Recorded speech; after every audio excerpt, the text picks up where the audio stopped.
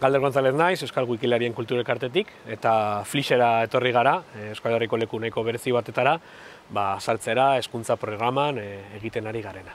Metafora batekin azaldu nahiko nintzueke Wikipedia txiki batek, hizkuntza txiki batek e, egin behar duena eta komunitate txiki batek egin behar duena Wikipedia bat e, abiatu nahi duenean. Imaginatu arroka kapa hauetako bakoitza, estratu hauetako bakoitza, artikulo bat dela eta guk Wikipedian e, erabaki behar dugu askotan e, komunikarte txikia garenean, ea nahi dugun artikulu gutxi, baina oso lodiak, edo nahi dugun artikulu asko, baina benetan txikiak. Eta dilema horrekin egoten gara askotan, bai? Zer nahiago dugu, kantitatea edo kalitatea. Askotan, dedikatzen diogu denbora tarte handi bat, idaztera benetako artikulo lodiak, luzeak, e, edukiz ornituak, eta beste batzuetan, ba, agian robotez e, lagunduta, egite ditugu ba, milak artikulo laburrago, ba, pixka bat puzten dutenak, baina gero benetan erabilera praktiko ondirik ez dutena. Zer da gertatzen dena? Gertatzen dena da, e, hizkuntza txikietan ikasten dutenek, gure ikasleek, edukia behar dutela. Eta edukia behar duten e, momentu honetan, Wikipedia da iturri nagusia. Ingelesezko Wikipedia edo gure kasuan adibidez gaztelaniazko edo frantsesezko Wikipedia oso Wikipedia handiak dira. Eta horrekin konparatuta, besteak, bai, euskerazkoa, baina baita ere ba, galesezkoa, gaelikozkoa, edo eskozierazkoa, edo e, ba, ez dakit, iparsamiera, eta bar, eta bar, oso oso Wikipedia txikiak dira konparazioan. Eta orduan, ba, konparazio horretan, beti ateratzen gara galtzaile. Eta gutz, trebatu gaitezke esan ez, bueno, ba, gingo ditugu artikulo labur pila bat, edo gingo ditugu artikulo motz pila bat, baina benetan gertatzen dena da, ikasleek ez dutela bakarrik hau behar. Ikasleek behar dutena da, guzti hau.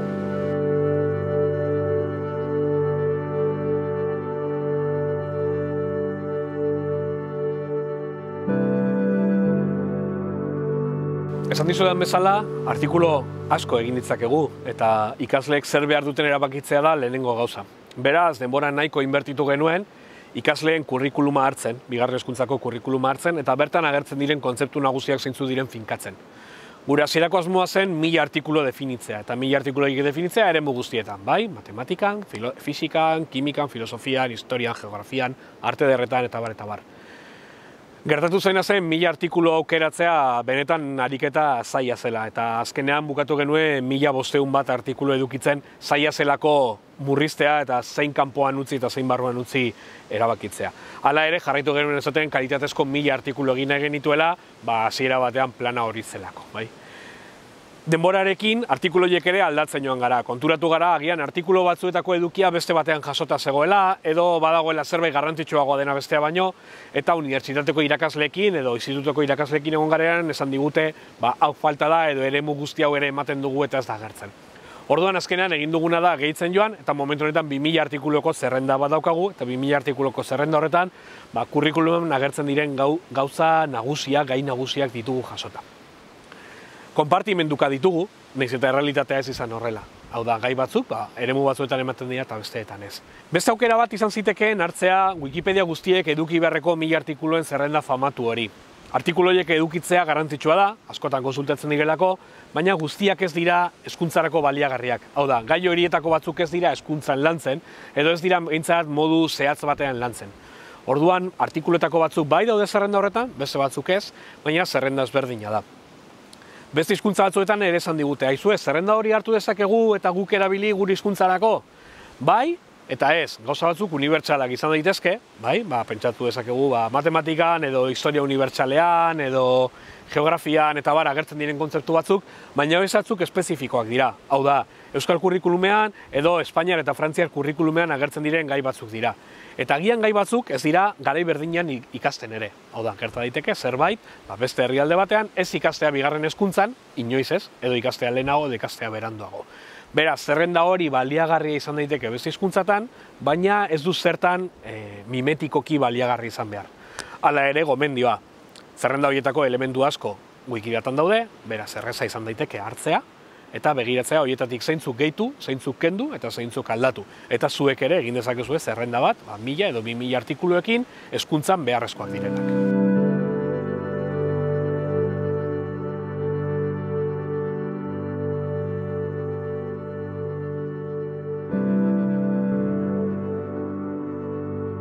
Behin zerrenda bat eginda, e, arazo bat daukagu eta da zerrenda hori garatu behar dugula.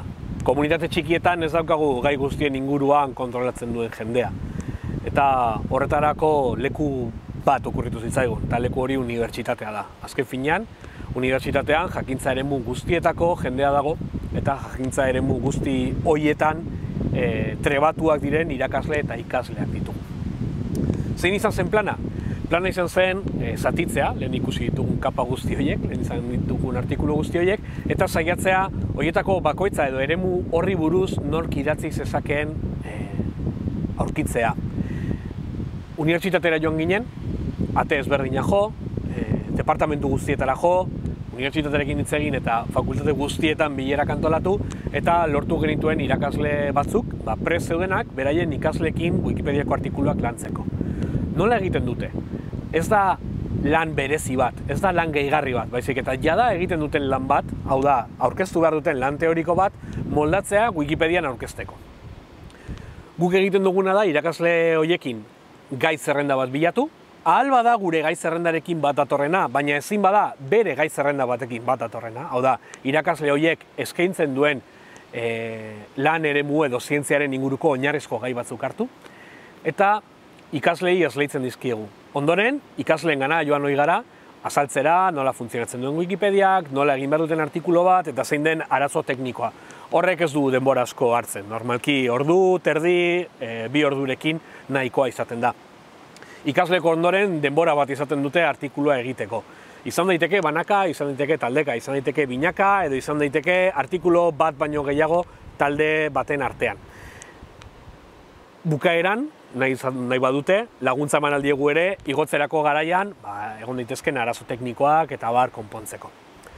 Metodo hau jarraituz, azkenengo ilurtetan, 2000 bat ikaslerekin egon gara unibertsitatean, bada marka bat, azkenean, e, ari gara hitz egiten, euskeraz, e, zeiru mila, zazpiru mila alfabetatu inguru garela, eta 2000 ikaslek parte hartzea erronka bat izan da, eta ikasle horiek idatzei dituzte lau milioi hitz baino gehiago.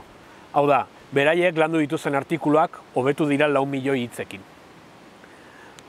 Aldi berean, ikasleek ez dituzte bakarrik garatu e, gure programan agertzen ziren gaiak. Garatu dituzte ere beraien zintziako oinarrizkoak. Kasu batzuetan, ikasgai horretako lehenengo apunteak ere sortu dituzte euskeraz. Hau da, beraiek idatzi dute gai horren inguruan orain arte e, euskeraz idatzitako bakarra edo gutxienetakoa. Wikipedia zentzu horretan, hazi eginda eremu askotan. Batzuk, zaiak izaten ari dira, demagun, e, arte plastikoak, e, musika, dantza eta bar, ez daudelako unibertsitaten jende gehiagi hori ikasten duena. Beste batzuk errazagoak izaten ari dira. Adibidez, fisika, e, matematika edo geografiako gaiak errezagoak izan daitezke leku batean baino gehiagotan lantzea. Zientzia ere mua bereziki hasi da. Baita ere informatika eta baita ere e, kultura zientifikoari lotutako gaiak. Unibertsitatearekin, aldi berean, e, landu ditugu bestelako gai batzuk. Izan daiteke ilustrazioa, izan daiteke bideogintza, izan daiteke gauza zabalagoak, baita ere, zuzenketak edo artikulueren e, ikuspegi kritikoa lantzea. Hala ere, gako nagusia izan da, ikasle horiek lantzea artikuluaren muina, zabaltzea beraien ezagutzarekin, eta alba da, irakasleak ere zuzentzea, ziurtatzeko ikasleek idatzi duten hori, alik eta oberen dagoela. Askotan esaten digute gainera, bueno, baina zenbat gehitu behar da. Guk ere irakaslei esaten diegu, gakoa ez dela gehitzea, baizik eta batzuetan izan daiteke laburbiltzea eta guztientzak kontatzea. Eta hor erronka daukaguna orain da artikulu oso luzeak izan daitezken batzuk ere, ikustea ea baliagarriak diren eh, mundu guztiak ulertzeko eta bereziki izilutoko ikasleek ulertzeko.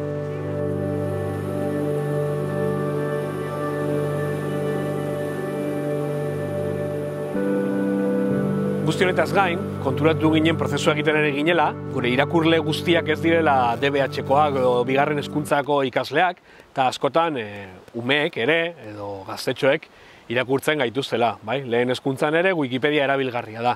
Baina beraientzat artikulu luzeagoak edukitzeak eta artikulu mamitsuagoak edukitzeak unibertsitateko ikasleek egin dutenak galtzen du interesa. Zailagoa delako irakurtzeko, falta zaielako testu ingurua edo agian ez delako hori bilatzen dutena. Hizkuntza askotan umeentzat pentsatutako entziklopediak existitzen dira, bai? Adibidez, e, Wikidia da horrelako adibide bat edo Klexikon alemanieraz.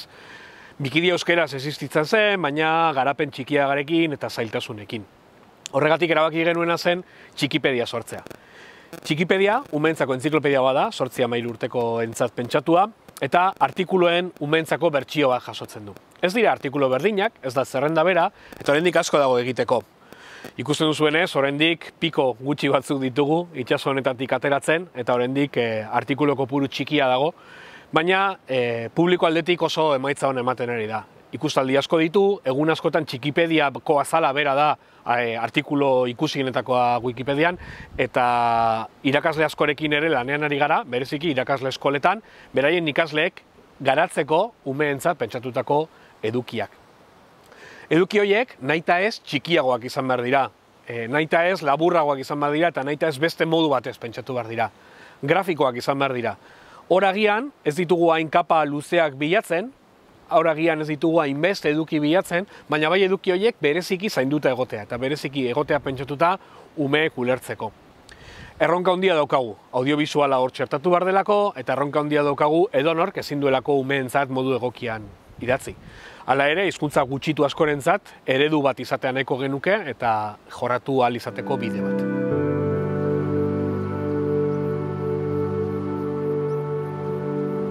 Unibertsitatearekin egin dugun lanak oinarri zurruna eman digu eta Wikipedia asko hasierazi du. Oinarri horren gainean gaude orain. E, hemen azpian daukagu ikasleek egindako lan guzti hori. Hala ere, e, lan horretan ba, batzutan geratzen dira utxuneak edo lan horiek berriro antolatu behar dira edo konpondu behar dira. Horretarako wikilarion lana funtsiozkoa izan da. Wikilariok egin duguna azkenean izan da e, zeuden utxuneak bete, artikulako betu, erreferentziako beto jarri, e, lan tekniko batzuk, baina baita ere idatzi. Idazteko lehiaketak antolatu ditugu lehiaketak askotan izan dira hilabetekoak edo luzeagoak eta gai zehatz batzuen inguruan. Gai horiek aukeratu ditugu zailtasuna genituelako edo unibertsitatean manatzeko edo agian gai interesgarriagoak izan zitezkelako wikilarientzat e, unibertsitateko ikasleentzat baino. Lehiaketa horien baitan, artikulu asko betu ditugu eta oso ondo funtzionatu dute. Sari txiki batzuekin, hau da, diru inbertsio gutxirekin, lortu dugu oso emaitza ona. Wikilariak azkenean, ba, bueno, prez daudelako lan hori egiteko, eta prez daude lan horretan parte hartzeko, eta lehiaketak ematen dio ba, xarma hori.